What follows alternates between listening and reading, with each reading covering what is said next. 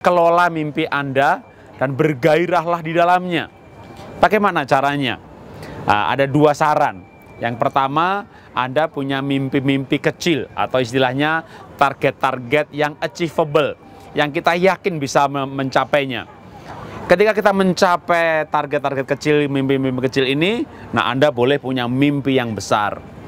Atau memang Anda membuat kepala ini seperti komputer gitu casingnya gede gitu ya. Jadi kita punya mimpi yang besar, kita kejar sekeras mungkin.